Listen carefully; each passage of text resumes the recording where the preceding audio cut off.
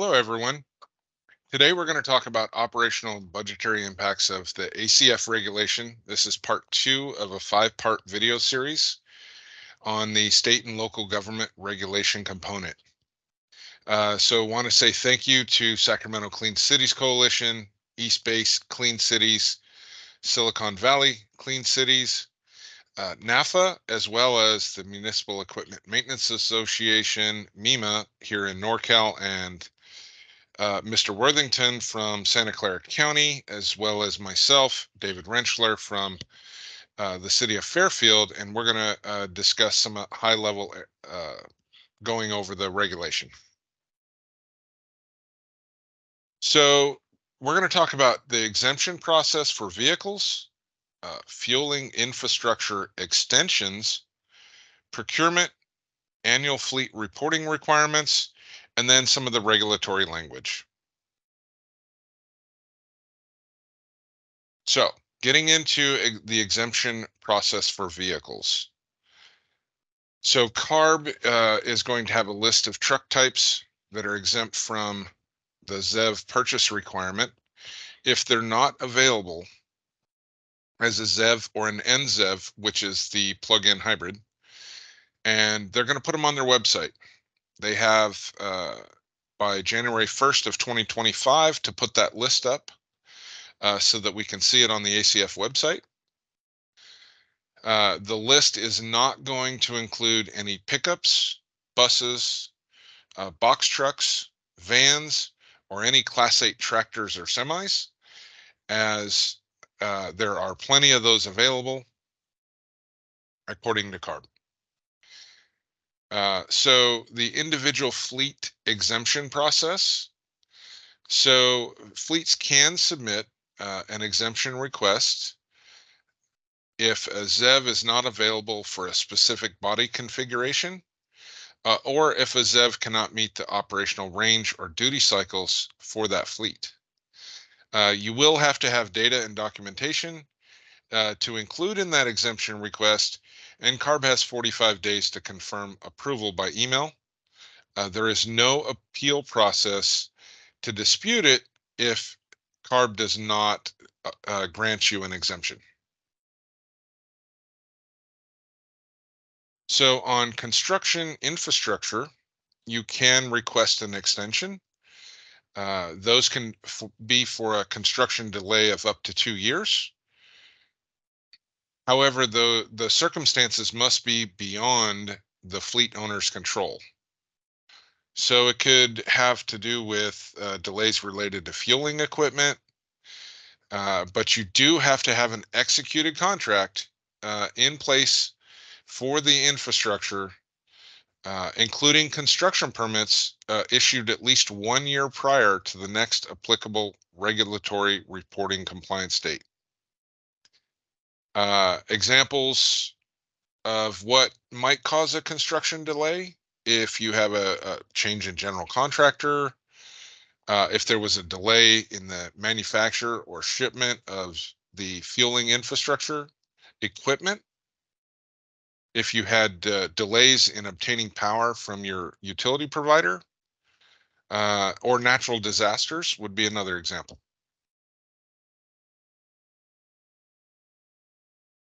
So for those construction infrastructure extension requests, uh, if a ZEV purchase agreement must be entered into prior to submitting that extension request. So a ZEV could be delivered and need to be stored for up to two years until that infrastructure installation is complete. You must submit those at least 45 calendar days prior to the next applicable compliance date for the CARB executive officer to consider that request.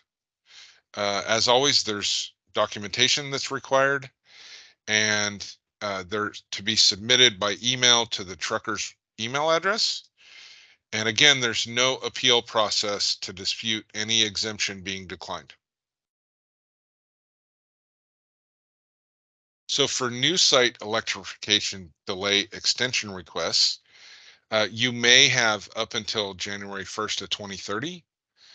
And that's uh, site electrification extension requests are to align the estimated ZEV delivery date with the amount of time the electric utility determines it needs to supply the required power to a site. So those delays can be up to five years, with the initial being up to three years, and a subsequent request might be approved for up to two years. Again, they have to be done 45 calendar days prior to the expiration of the initial extension period. And in this case, if you have a ZEV on order, it could be delivered and need to be stored for up to five years until that infrastructure is complete.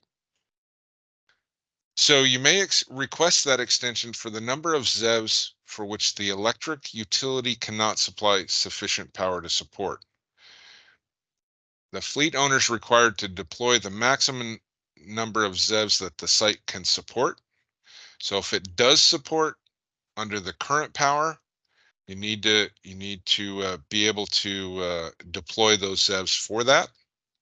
To maintain the extension, the fleet owner must deploy an additional ZEVs that can be supported by electric utility upgrades to the site's electrical capacity each calendar year during that delay until it's complete. And the fleet owner may request an extension for the number of ZEVs for which the electric utility cannot supply sufficient power to support. Again, the fleet is required to deploy the maximum number of ZEVs that that site can support. Uh, you would submit through TRUCRS. And again, CARB has 45 days to confirm approval by email, and there's no appeal process. Both extension request types require a fleet to begin planning one year ahead for infrastructure installation. I will review the procurement requirements to hire compliant fleets at this time. Beginning on January 1st, 2024, fleets will be required to hire or dispatch ACF compliant fleets. The first reporting period for compliance, the uh, deadline is April 1st of 2025 provided hired fleets are purchasing ZEVs to meet their 2024 regulatory compliance requirements, they will be in compliance up until March 30th of 2025. Uh, compliant fleets are private or government agency fleets in compliance with the ACF regulations at the time that they are hired and throughout the term of any contract or agreement, or more importantly, are exempt from the ACF regulation. Any high priority or federal fleet that meets any of the following four criteria are required to comply with the ACF regulation. Number one, the entity has $50 million or more in total gross annual revenues, and that includes all parts of the company's operations within the United States. As an example, if you have a branch of a company within California and its revenues are below $50 million, initially they might think that they are exempt from the regulation, but you need to total up all gross revenues across the United States, which may take them over the $50 million mark and have the ACF comply to them. Number two is a fleet owner that owns, operates, or directs the operation of 50 or more vehicles in the total fleet, excluding light duty package delivery vehicles. Number three is a fleet owner a controlling party whose fleet, in combination with other fleets, operate under common ownership and they control 50 or more vehicles in the total fleet, again, excluding light duty package delivery vehicles. And number four is any federal government agency or state or local government agency, as defined in Title 13, which is listed here, that has elected to comply with the ZEV milestones options which are one of the two pathways to compliance for ACF, which we've discussed in a previous uh, webinar series. Examples of uh, these hired compliant fleets would be rental car or truck companies. The rental agreement is less uh, than one year. Vehicle leasing companies with lease agreements less than one year. Trucking companies hired to pick up or deliver large goods contracted NGOs delivering services or goods, and general contractors. Currently, CARB is going to be coming out with an FAQ to uh, exclude the need for us to collect data on subcontractors and subcontractors of subcontractors. So currently, we've been told that we only have to collect the data for general contractors that we hire for any projects. Here's some additional examples of the type of businesses that uh, we will need to track. Facility repair businesses, equipment rental businesses, bottled water delivery, uniform, food delivery, moving, fuel delivery, people transport, and public works contractors. And I'm sure there's a lot more that you will uh, understand need to comply with this fleet in your own uh, operations. There is an exception, exception, which are private or government agency fleets that are exempt from the ACF regulation. And again, you need to look at uh, what vehicles and agencies are required to meet the ACF. If they are exempt, then you don't need to worry about collecting this information from them. Verification of ACF compliance. Uh, number one, you need to check for verification that each fleet will be hired or dispatched as listed on the CARB ACF website as a compliant fleet. Initially, all those fleets will not be listed. As time goes on, the list will grow and it'll make it easier for government fleets to check and verify if they're hiring a, a compliant fleet. If they are not on the ACF uh, website, listed as a compliant fleet, then you need to acquire a statement from them stating their fleet is not subject to the high priority and federal fleets and the state and local government fleet regulations. We call that uh, statement an attestation. We also need to collect and retain verification documents and attestation statements on a calendar year basis. We cannot hire or dispatch a fleet that does not meet steps one and two above. Let me repeat that. We cannot hire or dispatch a fleet that does not meet steps one and two above. That is very important to understand. We need to also provide disclosure of ACF compliance in writing, uh, and it includes in the regulatory language and new hiring or dispatch contracts and agreements. The specific language is listed below, which states vehicles with a gross vehicle weight rating greater than 8,500 pounds and light duty package delivery vehicles operating in California may be subject to the California Air Resources Board Advanced Clean Fleets regulations. Such vehicles may therefore be subject to requirements to reduce emissions of air pollutants. For more information, please visit the CARB Advanced Clean Fleets website at the following address. This language verbatim needs to be included in any regular any uh, hiring or dispatch contracts or agreements. We need to make sure that the companies that we hire are made aware that their fleet of vehicles may have to comply with the ACF regulation. We also have to uh, include the regulatory language listed in red below for any type of sales documentations for vehicles that are sold or disposed of from your fleets. And the language states a vehicle operating in California may be subject to the California Air Resources Board Advanced Clean Fleets Regulation. It therefore could be subject to requirements to reduce emissions of air pollutants. For more information, please visit the CARB Advanced Clean Fleets website. The reason for this language is to ensure that anyone purchasing a vehicle from you directly or through an auction is aware that that vehicle may need to be compliant to the ACF regulation depending on that particular fleet status as being a compliant or non-compliant uh, fleet according to the regulation. Uh, so, and again, this includes contracts with auction companies. Uh, they should be amended to require this language starting for January 1st, 2024. We must keep all the records of reported information uh, and required documentation documentation for a period of five years. The records must be available in electronic or paper format to CARB staff within 72 hours of a written or verbal request for audit. Examples of the documents are vehicle purchase, rental and lease documents, purchase agreements, purchase orders, notices to proceed, leasing agreements or rental agreements for vehicles. If a vehicle is sold or consigned to an auction house, a copy of the contract and the transfer of liability form filled uh, with filed with DMV is also necessary, and that's very important to collect the transfer of liability and hold that in your documentation for up to five years. Additional examples are documentation for mutual aid assistance.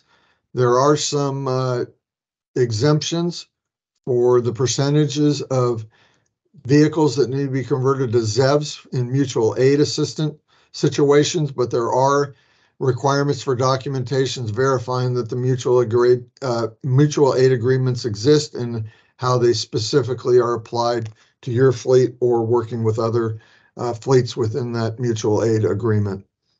We also need to continue to collect a documentation of hiring entities, and that is their certificates of reported compliance or attestations that they are exempt from the regulation as well as copies of contracts and disclosures of the regulation that we are required to make.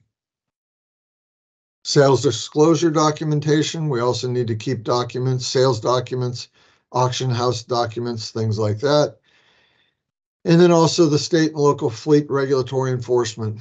Uh, the government agency individual employees who fail to comply with the requirements of the regulation who fails to submit any information, report, or statement required by the regulation, or knowingly submits any false statement or representation in any application, report, statement, or other document filed, maintained or used for the purposes of compliance with this regulation may be subject to penalties. Uh, just to summarize all that, we have to be in compliance with the regulation in all facets of it. We need to know about the regulation. We know need to know how it's applied, and we need to make sure that we are in compliance. There are penalties for not being in compliance, and they vary significantly, but the minimum amount is $500. And individuals that do not meet the above statement may be charged with a misdemeanor and serve not more than one year in county jail. Thank you, David. Uh, let's talk about uh, some of the annual reporting requirements. So, reporting deadlines and uh, the fleet owners must submit uh, your annual compliance report no later than April 1st. Uh, this is each year all the way through uh, year 2045. As the fleet is composed uh, January 1st of the corresponding calendar year. So uh, the reporting period is is during the month of March, uh, so that you're you're done by April 1st. Your initial report uh, is going to be April 1st of 2024 is when it has to be uh, submitted. And then beginning January 1st of 2025, fleet owners that submit initial reporting information after the initial reporting deadline uh, are subject to penalties. Then required information. Uh, so each vehicle, you need the VIN, uh, vehicle make and model. Uh, so most of this stuff you did on the ACT one-time reporting. Uh, so you should have a lot of it already. And then uh, don't forget the engine family and engine model year for vehicles that are added to the fleet after January 1st of 2024. Uh, required information for each fleet vehicle. Uh, so funding contract, uh, the start and end date for vehicles purchased with California state funding. So if the vehicle is to be excluded during the funding contract period. So some of these funding programs uh, don't let you use uh, state funding and also consider it part of your purchase. So the ZEV purchase reporting, fleet owners that are replacing a vehicle pursuant to the ZEV purchase exemption specified in, in section 2013.1D must identify which vehicle is being replaced. The joint compliance reporting if an agency chooses to comply jointly as specified in section 2013K, each individual department, division, district, subsidiary, or agency must report separately and include the CARB issued ID number of the primary controlling agency or designated primary entity. For emergency mileage, the fleet owner must report the number of miles traveled in support of the emergency for backup vehicles used in those operations that would exceed the backup vehicle mileage limit. Changes to an existing fleet. So if you're going to add or remove a vehicle from the California fleet, they must be reported within 30 calendar days of being added or being removed. If a backup vehicle exceeds the allowable mileage limit, the change must be reported within 30 calendar days of the date the mileage limit was exceeded. And if you do any ZEV conversions, uh, you must report the vehicle's new fuel type within 30 calendar days of being converted. For backup vehicle odometer or, or hub odometer reading reporting. So odometer readings have to, uh, you have to report annually the odometer reading from January 1st of the current calendar year and the date the reading was recorded from a properly functioning odometer or hub odometer. If you have an odometer failure or you replace the odometer, uh, the vehicle's originally equipped odometer fails and is replaced, then you have to report the following information within 30 calendar days of the date the original odometer failed or was replaced, whichever comes first. The original odometer's final reading, the new odometer's initial reading, and the date of the replacement. Hub odometers are the same. So you still have to report uh, within 30 calendar days, but you also must report the serial number. So for more information, please look at the regulatory language. Uh, the websites are listed here. And you can find the, especially the final uh, regulation order.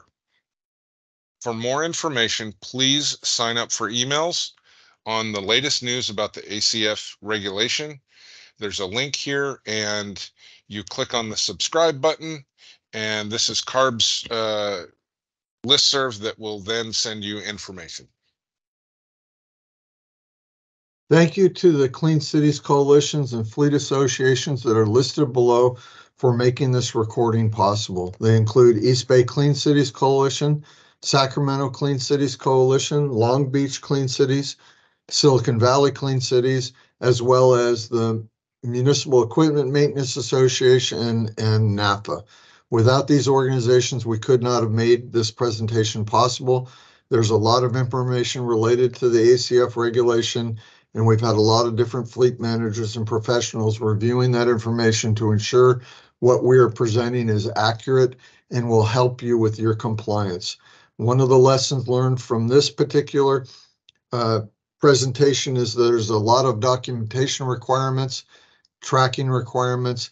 You may find that your particular fleet may not have a fleet management information software system that can provide all this data quickly and easily, which means there's going to be a lot of hand calculations and spreadsheets to track all of this.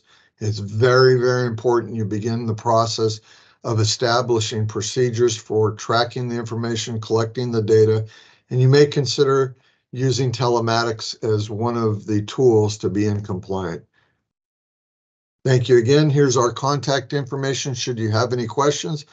Uh, we will have additional presentations of this five-part series on the ACF regulation that we hope that you find useful.